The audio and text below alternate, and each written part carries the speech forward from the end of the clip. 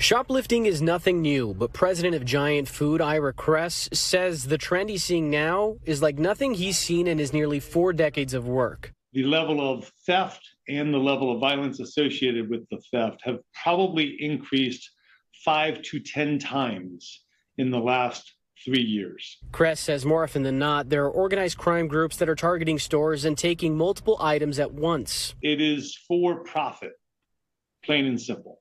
Uh, these are organized retail crime groups or individuals who are stealing product en masse. As a result, Giant has hired more security guards, reduced store hours, shut down secondary entrances, and put some items in lockboxes. We've locked down baby formula and we've locked down razor blades, and we have some stores that have locked down specific types of soap uh, or deodorants or air fresheners. Uh, some products are more monetizable than others. A tragic example of these instances escalating took place here at this giant in Oxon Hill in November when police say a giant security guard was shot by an alleged shoplifter.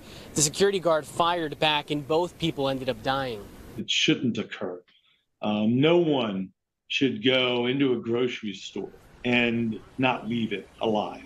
No one. And it's not a problem that's only impacting Giant. The National Retail Federation recently told the News 4 I team and consumer investigative reporter Susan Hogan that retailers have seen an 80% increase in violence associated with retail crime since the pandemic. It's very difficult to, to ask your employees to step into harm's way because not only are, the, are they endangering themselves, if, if there is a weapon involved, they're endangering all the consumers who are in that store. As for Kress, he believes stricter penalties need to be imposed on those committing the crimes. Absent those tougher laws, absent the application of those laws and the enforcement of those laws, we continue to see crime escalate and violence escalate. Mauricio Casillas, News 4.